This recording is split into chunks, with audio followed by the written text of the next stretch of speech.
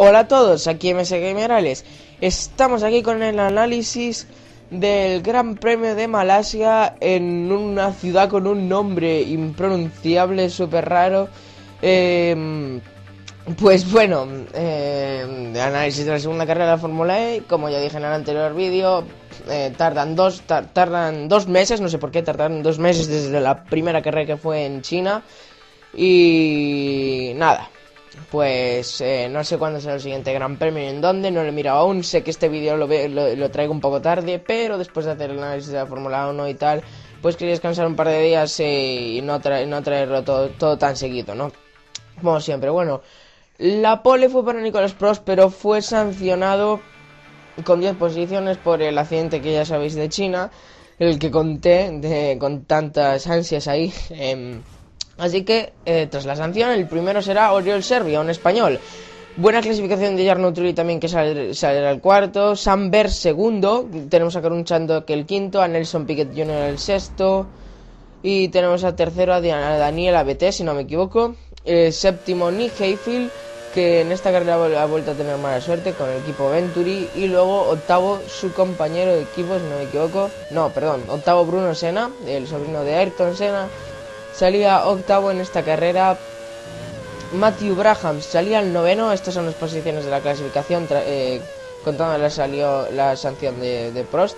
Eh, Antonio Félix da Costa que sustituía a Sato, décimo, Nicolás Prost un décimo.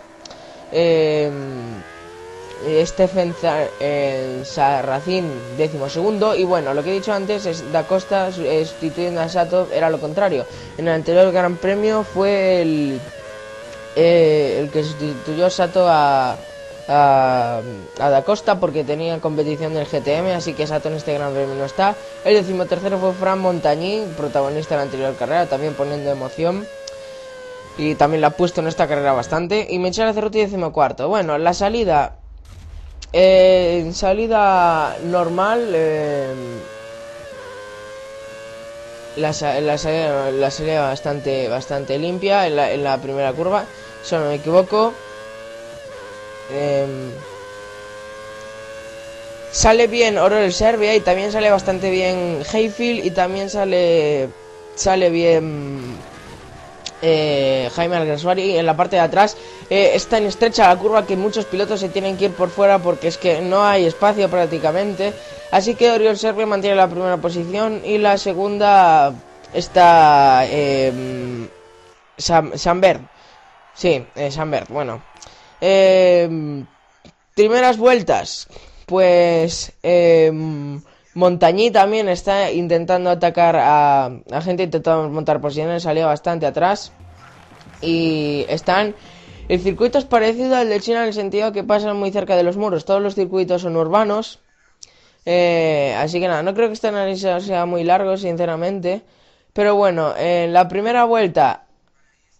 Eh, bueno, hay un accidente en la primera vuelta ya entre las dos chicas que son Catarina Legue y Michelle Cerruti, pues eh, intenta adelantar Catarina Legue a Michelle Cerruti, lo que pasa es que se le va de atrás, chocan y eh, creo que tuvieron que abandonar los dos, las dos, si no me equivoco, no sé, ahora no me acuerdo muy bien. Y luego en la cuchara, que no es una horquilla, es una puta cuchara porque es una curva flipante del circuito que es un poco chapuza, pero bueno, Montañí se queda cruzado y todo el mundo intentando esquivarle como pueden. Todo el mundo intentando esquivarle como podía, eh, al final no, se tocó nadie, pero Montañí creo que tenía un poco, eh, un poco el alerón dañado, pero pudo seguir perfectamente. Y nada, sale el safety car y estuvo un par de vueltas y en la vuelta 5 eh, se retira el safety car y vemos un duelo muy bonito entre Samber y Oriol Serbia que empieza, le intenta adelantar. Samber y Oriol Serbia se defendía, estaban los dos buscando tracción y es que estuvieron tres o cuatro curvas seguidas intentando entre los dos buscándose tracción, pero al final creo que Samber lo consiguió adelantar y a partir de aquí Oriol Serbia perdería unas cuantas posiciones. Luego por detrás, más hacia atrás, había un grupo entre el señor Piquet estaba Hayfield, también estaba Montañí. Y en una de estas Montañí le tira el, coche a, a, a, Hayfield y lo estrella contra el muro. y pues sale el safety otra vez y eh, Daniela vete para muy pronto en la vuelta 10 a cambiar de coche, con lo cual iba a llegar bastante justito al final, ¿no? Pero en una estrategia un poco suicida, pero lo hizo y llegó muy mal al final, ¿no? Y Montañés, sinceramente, creo que está jugando en plan a la play, porque es que madre mía, madre mía lo que lo que hizo ahí a, a Hayfield, increíble, pero es, es, es como como Grosjean ahí con Weber en un Gran Premio de Japón que se lo lleva por delante así así porque sí, o sea, está jugando, eh, parece que está jugando a la play Montañés, eh, sinceramente. Sale safety car otra vez y tal. Eh, y se va sobre las vueltas en las que empiezan las paradas, en la 13, por ahí empezaron las paradas. Pero Oriol Serbia, eh, estos ahí eh, sacaron bandera amarilla y más o menos en la vuelta 18 paró Oriol Serbia junto a bastantes coches que estaba... Oriol Serbia estaba cuarto en ese momento porque había perdido algunas posiciones, porque había un grupito ahí también. La verdad es que en las paradas como en la primera carrera, pues... Eh, con, la, con, la, primera carrera cambia las posiciones completamente, no hacen las paradas y eh, Nicolas Prost y eh, Buemi, que son los dos Adams Renault, se ponen muy arriba, se ponen arriba y Buemi que también salió de los últimos junto con su compañero porque el, el, eh, el coche no, no, llegaba al peso mínimo exigido. Entonces, eh, pues eh, salían desde muy atrás y las posiciones se, se revolucionaron completamente, ¿no? Bueno, pasamos ya directamente a la vuelta 23-24, en la que Nelson Piquet Jr. intenta adelantar a Trulli y le cierra, le cierra completamente y yo creo que que, que fue una un poco guarra de Trulli también y Nelson Piquet eh, rompe el coche y tiene que abandonar, se mete en una escapatoria y ya abandona. Y no se, no se produce safety car ni bandera amarilla porque estaba en una escapatoria y no había peligro. Eh, bueno, luego por delante vemos también la, la, batalla que he dicho antes entre Nicolas Prost y Wemi. Y Daniel ABT que estaba por ahí de los primeros, pero tenía la batería muy descargada porque paró muy pronto, entonces tuvo que bajar el ritmo, al final perdió muchísimas posiciones y lo adelantaron casi todos. Luego Bruno Sena también que estaba haciendo una gran, una gran carrera, que con el Mahindra Racing estaba haciendo una gran carrera y tenía las baterías eh, porque había estado ahorrando energía y tenía las baterías un poco más cargadas que Nicolas Prost que empezó a perder posiciones y en una de estas lo intentó adelantar pero se pasó de frenada muchísimo y acabó empotrado contra el muro, se pegó una hostia bien fuerte y al final, esto fue en la última vuelta y tuvo que abandonar. Eh, y, eso, al final ganó Sambert. Bueno, como digo, ganó Sambert, que hizo una carrera impecable, hizo un, carrerón. Adelantó a Oriol Serbia, que perdió muchas posiciones y quedó al final el séptimo.